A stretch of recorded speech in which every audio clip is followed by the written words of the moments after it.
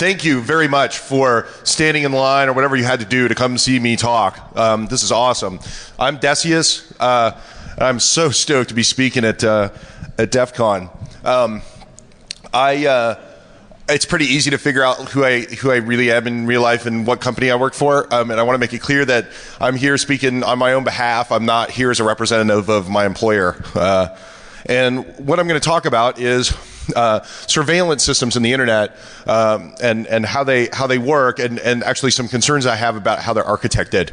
Uh, so um, there's this great debate that's been going on um, for years now about the nature of surveillance in the internet infrastructure in the future. Um, you know, are we going to have end-to-end encryption so that surveillance of our communications is essentially impossible? Uh, or are we going to have systems that are built into the internet that enable the government to surveil our communications when they decide that they uh, they need to? So, one of the first sort of salvos in this discussion was the Clipper chip. Um, the Clipper chip was a, a, a, crypto system that had a backdoor so the government could access the contents. Um, it also had a flaw, uh, which uh, uh, was discovered by uh, some cryptographers, and uh, as a consequence, uh, um, you know, didn't become as popular as they thought it was going to that was in the early 1990s. Around the same period of time, the U.S. government passed a law called the Communications Assistance for Law Enforcement Act.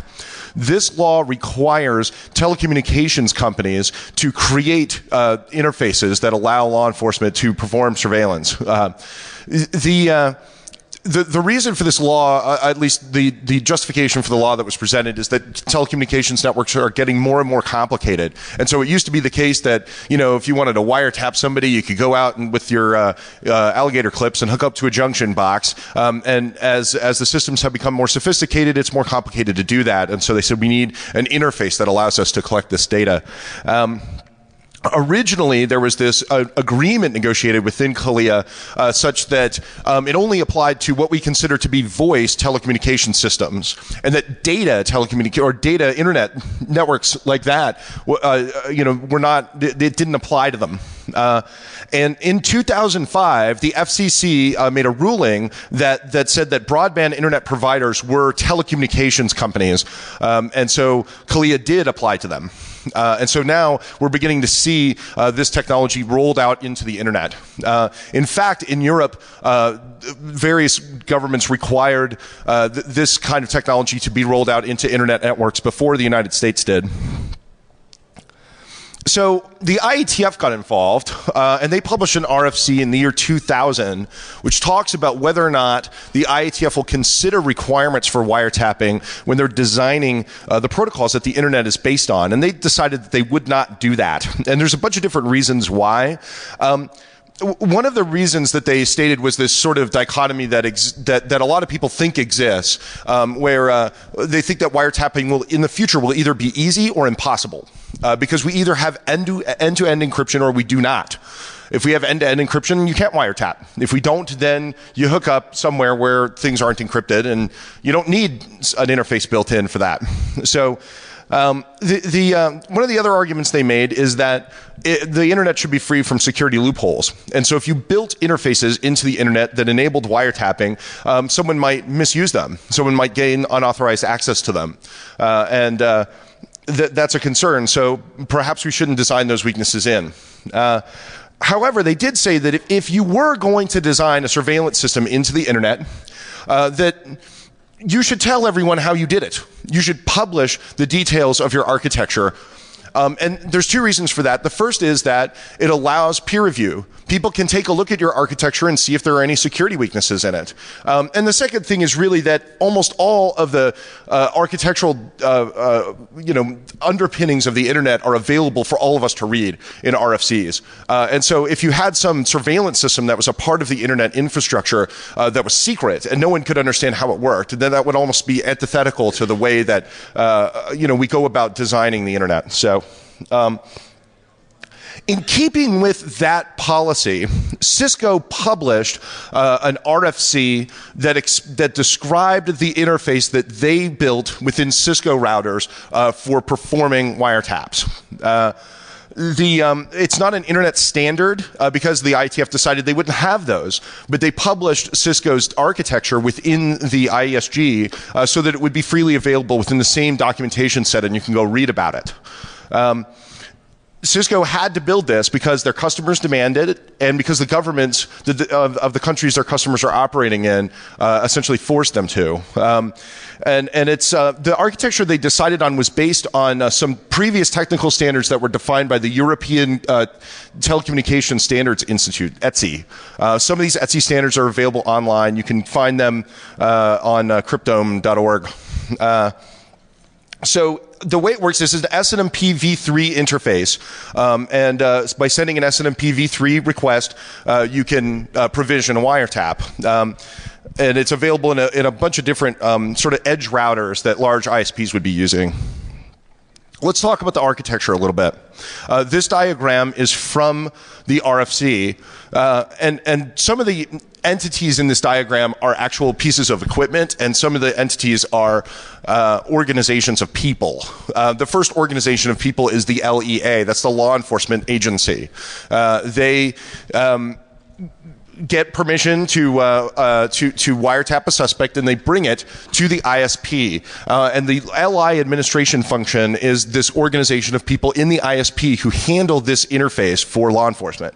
Um, so law enforcement comes to them with the warrant, they validate that the warrant is valid, uh, and they go ahead and provision the wiretap. Um, you can actually outsource your uh, lawful intercept administration function if you're a large ISP. Uh, this is just marketing material from a number of different companies that offer to perform this service for you. So they hire lawyers and they have people who understand the technology. Uh, and so when the when the, when law enforcement wants to access your network, they provide the access. Um, the, the wiretap is provisioned using this thing called a mediation device. The mediation device is really the heart of the wiretapping system. Uh, and and it, uh, what it does is it sends interception requests to various intercept access points, um, various places where you can collect data. Um, the data is collected and then it's sent back to the mediation device, and the mediation device packs it and sends it on to the law enforcement agency. So um, there's two kinds of, uh, well, before I get there, I'm going to talk about mediation device vendors. Uh, this is just a partial list of vendors who make mediation devices that are compatible with the Cisco architecture for lawful intercept. So there's a bunch of different companies out there that make this technology. Um, this uh, that uh, picture is is uh, from one of the companies. They're called Verint. I, I, picked their pictures out because they have really nice looking marketing material. Um, uh, so I, I want to point something out. Uh, about this picture. So this this sort of describes the process that they're going through. At the top, there's a warrant, uh, and the warrant is is uh, you know enables them to uh, use this technology to find this red individual who's the target amongst all of this other communication that's going on, and we filter the red individual out, and now we have actionable intelligence uh, based on our monitoring of that person. That's the technology they're selling.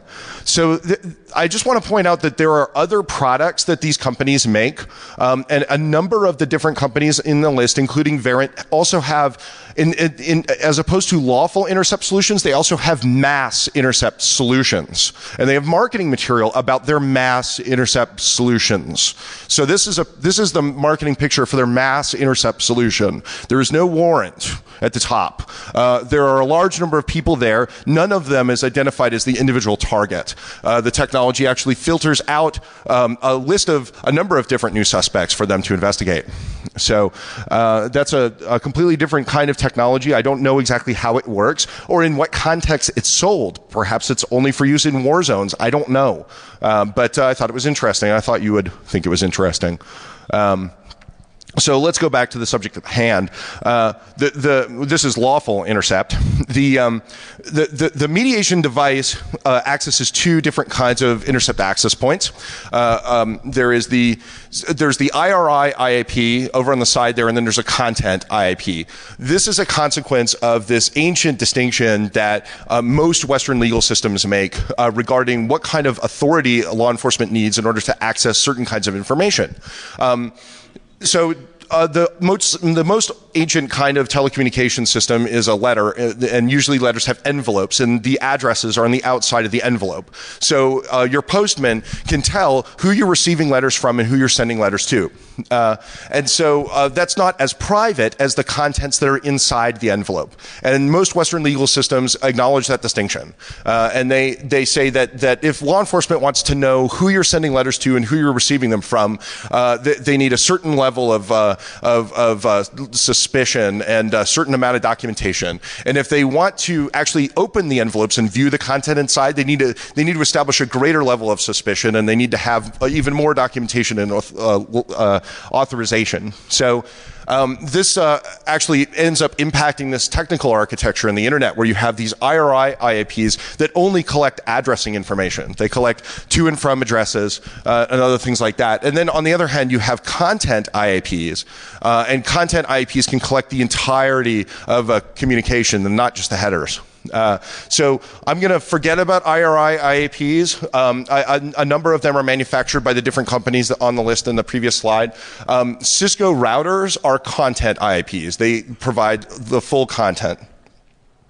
So um, if we go back to this diagram here, you can see this interception request gets sent from the mediation device to the content IAP. The interception request tells the content IAP what content we want to collect, and that content is sent back to the mediation device by the content IAP. The interception request is an SNMP v3 request.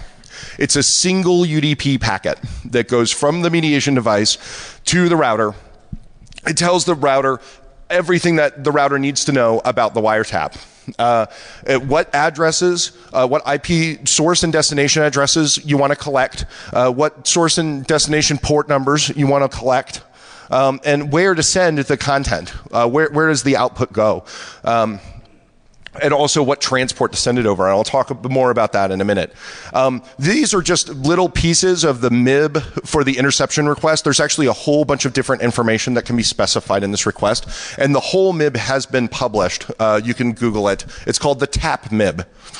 Um, so let's look at, uh, you know, the reason that uh, the ITF said that these these things should be published is so that we can look at them from a security perspective and, and see whether or not we uh, we think that they're they're strong or weak. Uh, and um, that's what I'm I'm trying to do with this work. So uh, let's let's consider, um, you know, what security concerns exist for lawful intercept. Um, uh, and and I don't evaluate all of these issues in this talk. I'm only focused on the the third one, but I wanted to mention all of them so we have like a full framework for how you analyze these things. Um, so the first thing that you need to consider if you were going to design a system for wiretapping is that you need to make sure that the subject does not cannot figure out that he's being wiretapped. And if you go read the uh, RFCs for the Cisco interface for lawful intercept, they explain how they go about doing that. They talk about how you don't want to have an additional hop that shows up in the trace route when wiretaps are happening, for example. Uh, so uh, th- there are certain decisions they made to uh, to make it invisible to the user. Um, it's possible that when this feature is enabled, uh, it could affect the performance of the router, but it might be difficult to differentiate that from other things that can affect the performance of the router. Uh, so and I didn't evaluate that, so I'm not absolutely certain. Um, the, the second thing you need to consider is, is, and there's a really awesome paper by Matt Blaze called The Eavesdropper's Dilemma. And if you're, if you're interested in this, I highly recommend reading it. Um, he talks about how if you're an eavesdropper, what do you do with data that's malformed? Uh, what do you do with a packet that has a bad checksum? You can either include it in the information that you're displaying to the law enforcement agency, um, or you can, you can throw it out. If you include it, uh, it, it, could confuse the law enforcement agency. The, the guy who is being tapped could generate a bunch of extra data with bad checksums, knowing that it will never reach its destination in order to provide a bunch of cover traffic that basically um, uh, you know, misdirects the person who's surveilling them. Uh, if you choose not to include it, then the guy who's being surveilled can send all of his traffic with bad checksums and just configure the computer on the other end not to do the checks. Uh, so it, it's um, it's a difficult and interesting uh, uh, issue, um, and, and I, I, again I recommend reading about it, but it's not what I'm covering in this talk. What I'm talking about is unauthorized access. And there are two uh, sort of different kinds of unauthorized access you need to be concerned with. The first is making sure that people who are not authorized to provision a wiretap cannot do so. Um, and the second is to make sure that the people who are authorized to provision a wiretap are only collecting the data that they were actually authorized to collect. They're, they got a warrant to look at Bob's stuff. They only collect Bob's stuff and not Carol's stuff. So let's talk about that. Let's talk about gaining unauthorized access. This is a, uh, a network map. It's an example network uh, that, that uh, just kind of shows you how this looks when it's actually deployed in an ISP's environment. Um, there's this IAP edge router down here that's providing service to a bunch of customers. Um, and uh, one of those customers is the surveillance target. Somewhere within the ISP's cloud, there's this service provider management network. This is how ISPs run their networks. They have uh, SNMP monitoring servers and a bunch of other machines in that network that they use for uh, uh, running all of their gear. Um, in that service provider management network is the mediation device, uh, hopefully behind another firewall. So this is how this is supposed to work. The, if you look at the red line, traffic flows, the mediation device sends an interception request out to the IAP edge router, and the edge router collects data from the surveillance target and sends it back to the mediation device. This is um, sort of an idealistic attack scenario. The, the attacker out on the internet sends the, his interception request to the router, and the router sends the intercepted traffic back out to the attacker server on the internet. So how do we accomplish this? Well, we have to send an unauthorized interception request. Um, again, it's a single UDP packet. It's an SNMP v3 request it has to have um, the correct username and password. You have to know the correct username and password with one caveat, which I'll discuss. Um, you also have to have the SNMP v3 engine ID, engine boots, and engine time values. Uh, those are three numbers that SNMP v3 uses to prevent replay of uh, requests you can get them from the router as long as you can talk SNMP to it. You don't need a username and password to get them. It will hand them out to anybody who asks. Um, and uh, they can be shared between uh, uh, uh, different people. So if you ask for it, you can hand it to Bob and he can send the, and he can use it. So um, uh, it doesn't matter what source address you're coming from. Um, the, the, attacker would need to be able to interact with the interface, uh, um, the, the, at least to send a packet that the interface will receive. So packet filters could play a role here, and I'll talk about that too. Um, obviously, because it's a single UDP packet, it can be spoofed. Um, but there are caveats to that. Um, also, encryption might prove to be an obstacle, and I emphasize might. Uh, so, um, the first thing you want to do, as I said, is you got to have the right username and password. So, um, it turns out that there was this vulnerability in SNMP v3 implementations, which was disclosed in the middle of the summer of 2008, uh, that, that, allow, that allowed somebody to access an SNMP v3 interface without knowing the password. It affected a bunch of different implementations. Uh, and the way, th- so um, SNMP v3 messages are actually authenticated using an HMAC. Um, and the HMAC is calculated with the password. So um, when a uh, router receives an, H- uh, an SNMP v3 request, uh, they're supposed to, the way the RFC is written, it's supposed to take that HMAC out and, and check to make sure it's 12 bytes long. If it's not 12 bytes long, it throws the HMAC away uh, and it throws the packet away. Um, if it is 12 bytes long, then it goes further and does verification. It turns out that that particular piece of code was not actually implemented by a bunch of different SNMP v3 implementations. So regardless of how long the HMAC was, uh, the, the software would proceed to the verification step. Um, and that function there is the actual verification function. The software would go calculate its own HMAC, and then it would compare it with the HMAC that was in the packet. Uh, and it used the length from the packet to do that comparison operation. So if you send one byte as your HMAC, and that one byte happens to be the correct first byte for the real HMAC that you're supposed to send, uh, your packet is accepted as valid. Uh, in practice, this means that you send 256 requests, one for each possible byte, and one of them will be will be accepted. So you don't need, you don't need the password. Um, as I mentioned, this was disclosed in June of 2008. Uh, it impacted a bunch of different uh, vendors. Um, what's interesting is that a lot of the iOS software trains that support lawful intercept were never vulnerable to this vulnerability. And both the vulnerability and lawful intercept have existed in iOS version trains for many years.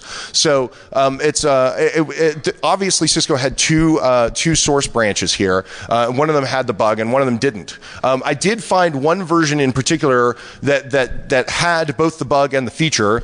Um, uh, there were probably others. I didn't exhaustively search the list, but the Cisco 10,000 2000 series router supports this particular version train of iOS, and it had both the vulnerability and the lawful intercept feature.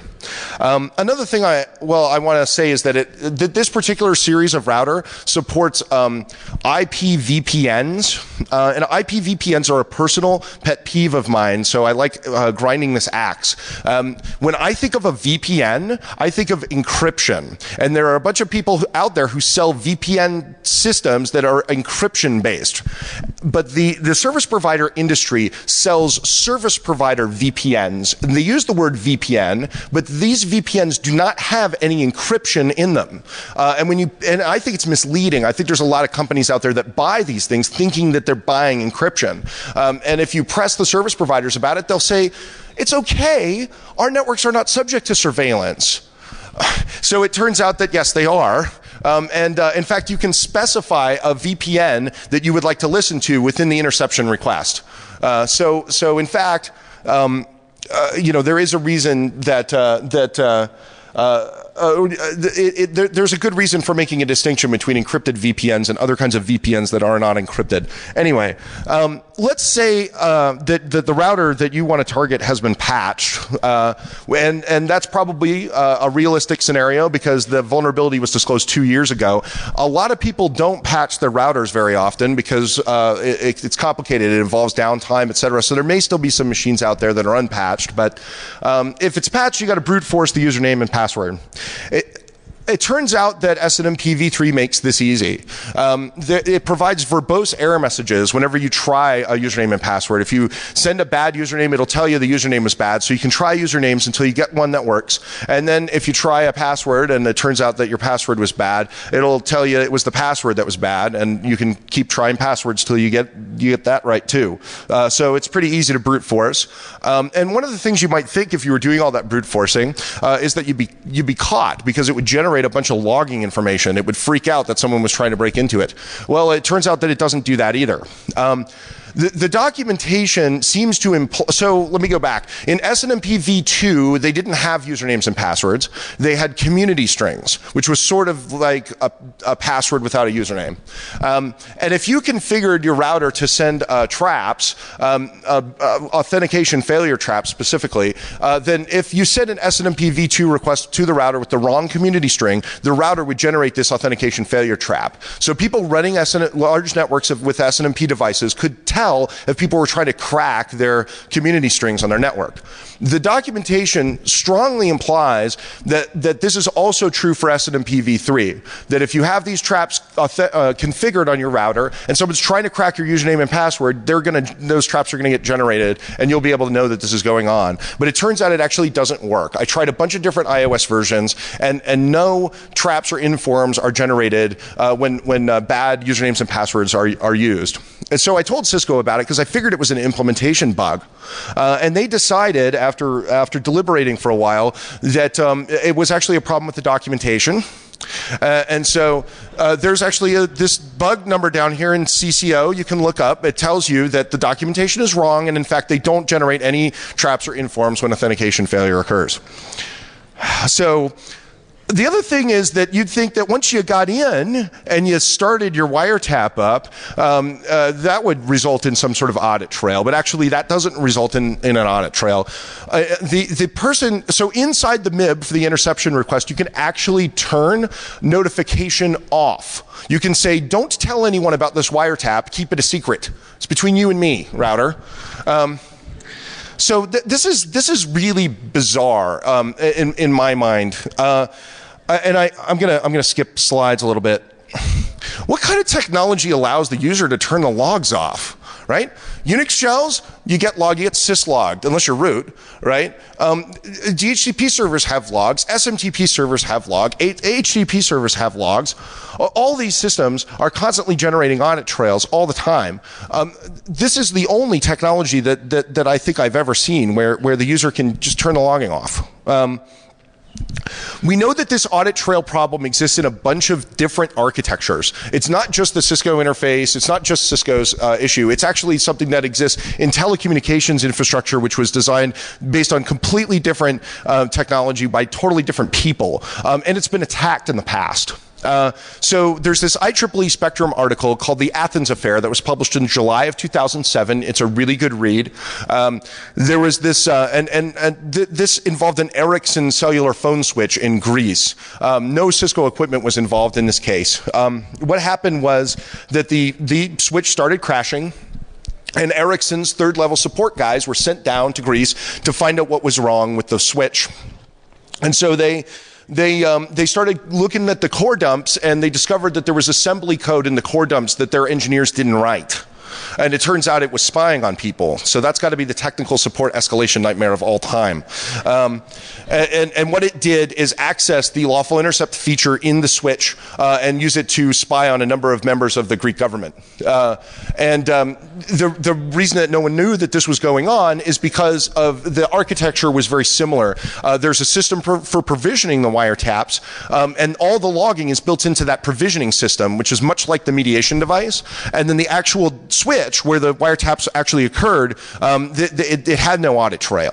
Um, so there are fundamental requirements, that, architectural requirements that, that are going into these lawful intercept systems of different variety that are driving this uh, this design decision. And I'll talk later about why this decision was made. But I I, um, I want to point out a couple of other things the audit, uh, in addition to the fact that this can be attacked, um, it's also important to point out that allegations of misuse of the system cannot be investigated. If somebody says, hey, I was wiretapped illegally, uh, I'm sorry, there's no logs, so we can't figure out whether or not you're lying. Um, so that's another issue. Uh, but if, if you think about it, um, it's, you know, in Europe, there are these data retention laws um, that require uh, ISPs to, to store all of the, the audit trails from all of these systems that the ISPs are running. They have to store the source and destination of, of, of every communication uh, for, for six months to two years in Europe. Um, so, so there are laws that require all of your activity on the internet, if you're in Europe, uh, to, to, to, to be retained so that it can be investigated in the future if there's some allegation that you did something wrong. But the law, the, the, the wiretapping system in the exact same networks does not have any audit trail at all, and there is no way to go back and, and investigate an allegation of misuse. So what's up with that?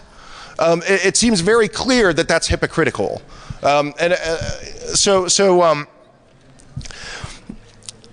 I'm going to go. I'm going to go on to the next issue. But once I get further into this talk, I'll explain exactly why they designed it that way and, and how they can design it differently so that it doesn't have to work that way.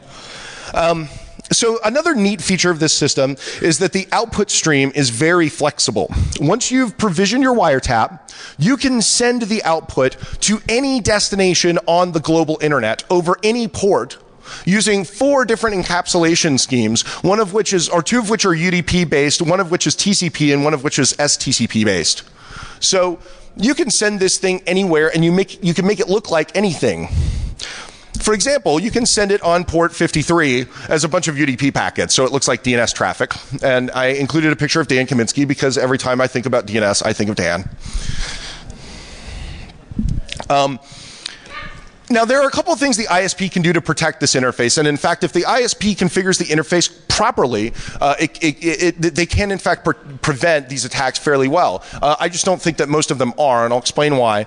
Uh, one of the key things that ISPs like to do to protect uh, stuff on their network um, is, uh, is, is use access lists. And all of the SNMP v3 hardening guides and uh, information from Cisco recommends these infrastructure access control lists that say that we'll only accept SNMP v3 from our management management LAN. Uh, and I figure a lot of ISPs have those, those access lists configured.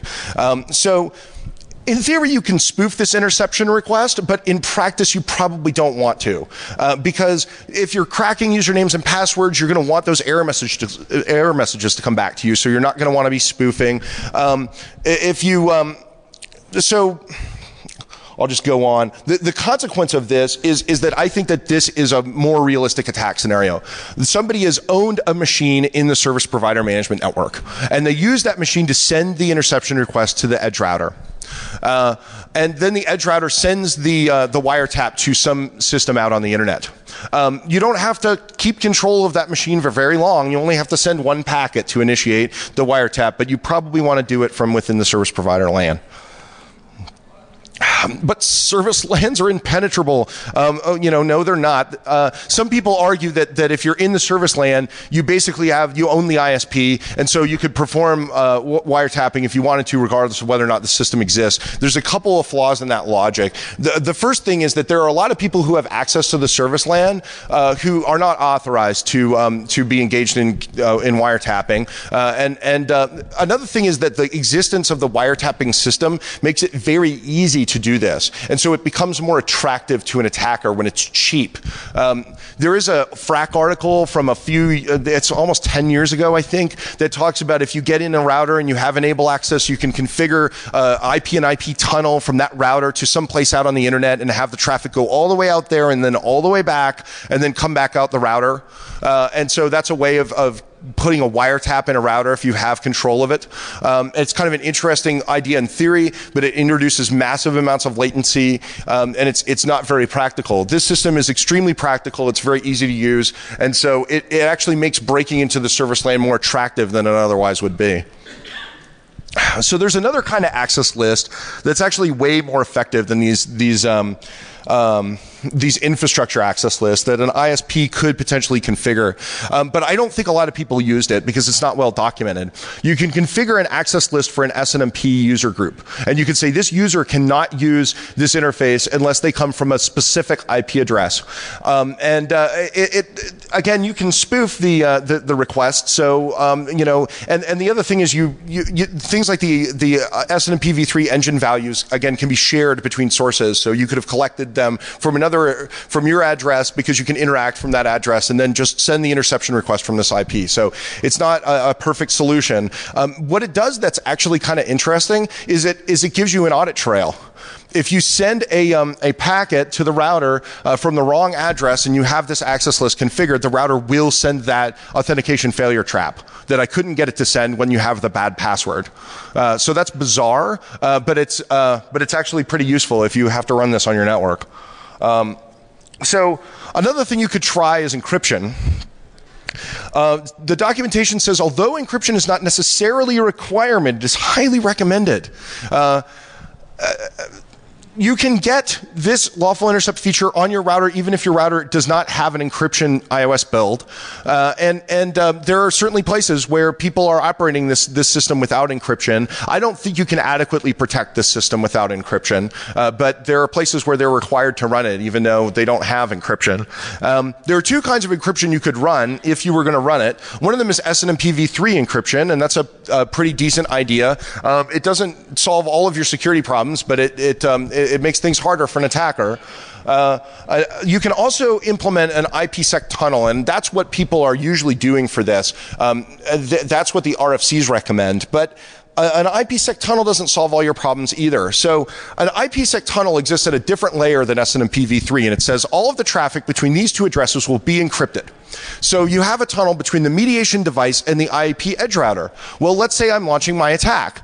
I launch my attack from this other machine that's not the mediation device. And so the router's not expecting that attack to be encrypted. And so it accepts it in the clear. And I'm sending my output to another destination address that is not the mediation device. And so that destination address is not inside the IPsec tunnel. And so the router's going to send it to me in the clear. And so your encrypted tunnel doesn't really prevent me from accessing this without authorization. The only way to really lock this down is to is to couple that IPsec tunnel with the with the user group access control list that I mentioned before. So how practical is this attack? Um, again, what I think service providers are doing, they're using the SNMP v3 infrastructure IP access control list. Uh, the, uh, some service providers were vulnerable to that CVE. Some might still be. Uh, there are certainly service providers that are not using encryption. So I think when you add all those things up, uh, this attack is practical on some real networks on the internet. I have a bunch of recommendations for how you can deploy this on your network so that such that it's secure. I've pretty much already explained them, so I'll skip this.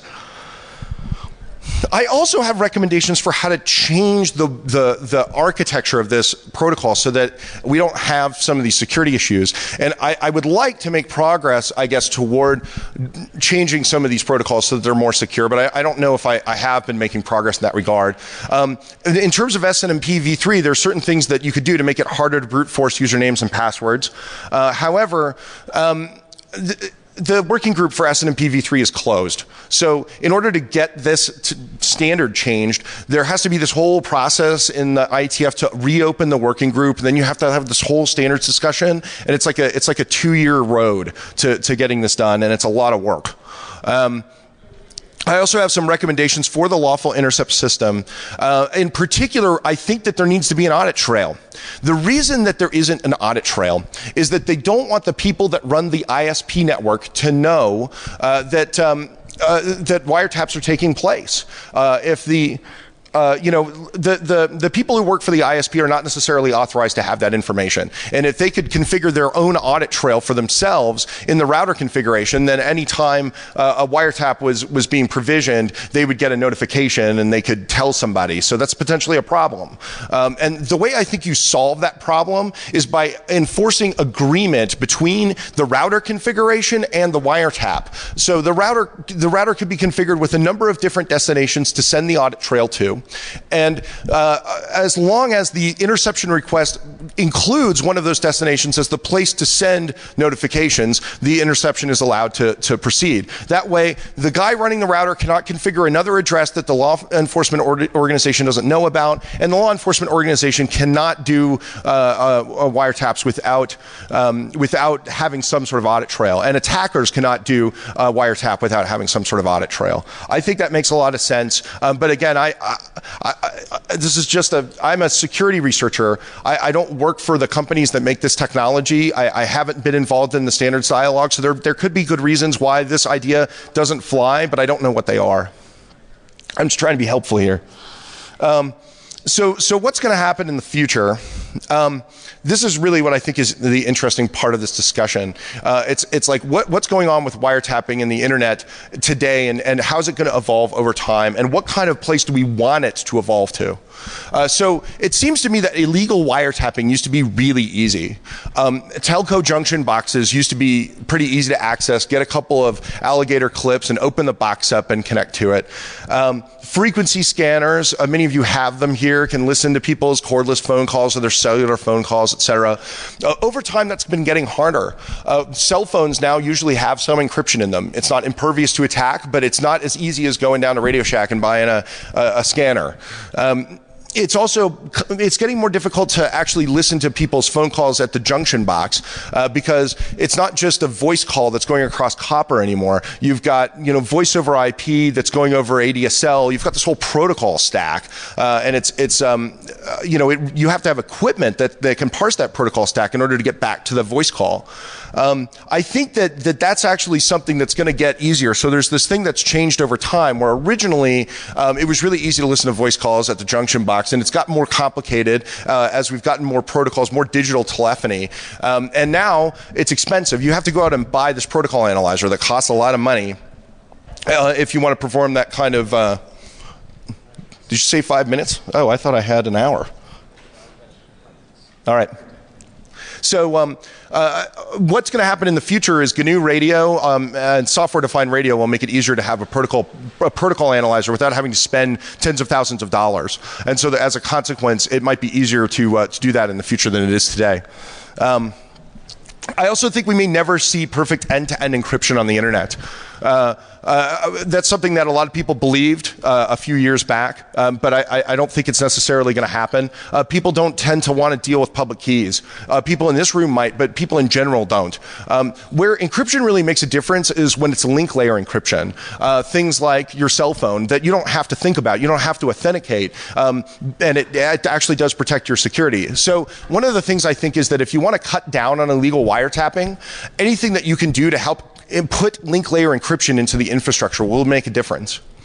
Um, but there's this other question about should we build this wiretapping infrastructure? And the consensus view of the computer science um, research community is that you shouldn't because of the sort of risks that I'm describing in this talk. That, that people can use this stuff without authorization and it introduces a security risk by being there. And so they argue that um, so, so this is the thing. There's going to be a way that, that law enforcement performs wiretaps. I don't think that there's this future where wiretapping doesn't occur because I think the government is always going to want to do that and, and they're going to find a way to do it. And so really the question for us is, is how are they going to do it? Um, and the, if, if you consider the consensus view of computer scientists, it's that we, uh, the, the argument is that they should do it with portable protocol analyzers. And, and um, I'm going to go out on a limb here and say I'm not sure that's actually the best approach. The problem with protocol analyzers is that, you know, you're, you're, say you're a police officer and you're authorized to, to perform a wiretap. You go get the protocol analyzer, you plug it into the network, you collect some data, and then you, you do your analysis and you go turn it back in. There's no audit trail, right? Um, there's no, you, you have the ability to do whatever you want with that system while you have it checked out. So um, the, the, only way to really have a, a, a, an effective access control system is to have a piece of permanent infrastructure. And you get the access control system because you have to have one if you have permanent infrastructure. And so potentially there's an opportunity if you if you if you build permanent wiretapping infrastructure to build um, a, a, a, access control mechanism for it that actually effectively prevents people from wiretapping if they don't have the right lawful authorization. Um, and, and so if we, if we see this future where you get more link layer encryption and, and you get a more effective system for access control, uh, you, you, could significantly cut down on all kinds of illegal wiretapping, whether it's done by individuals or it's done by people in the government. Um, but this access control system has to work effectively. Uh, and I think that there's a, a, concern that, that what we've got right now is, is the worst of both worlds. We have a vulnerable system um, and, uh, and we also have vulnerable networks. So I, I, have two more points I want to make. Um, uh, the, the, first is that peer review is important. It's a good thing that Cisco published this architecture uh, in the IESG, that we have the opportunity to read it, that we can understand how it works, and that we can uh, question its security properties. There's a bunch of other uh, lawful intercept technology that's being made by a number of different vendors that's deployed all over the world, and, and almost none of it has been subjected to this kind of peer review. So, um, you know, what we do in the security scene is, in, in this conference is, is we go find vulnerabilities in things. And, and when you do that kind of analysis, it's amazing what you find. Uh, Barnaby Jack tomorrow is going to jackpot a couple ATMs on stage. You know, you figure guys who make ATMs are probably pretty secure, serious about their computer security. But somebody went and did an analysis and it turns out there are vulnerabilities. Um, in order to have a really secure infrastructure, we have to do that kind of analysis with everything that we're putting into play. Uh, and so that sort of analysis is necessary for these systems too. Um, and hopefully other people will go on and do further projects like this. So what can you do to prevent illegal wiretapping? You can try to try to work on projects that involve link layer encryption, um, as well as end-to-end encryption. Although I, I, think that, that they're less likely to be adopted. Um, you can help peer review intercept systems that are out on the internet. There's a bunch of technology out there that hasn't been hasn't been looked at. Um, and, and you can also insist that, that your ISP and your government, if they're requiring lawful intercept to be built into your network, that that, that, that, that technology is secure and that it's open to peer review and so that you can understand how it was, how it was architected and implemented. So that's my talk. Thank you very much.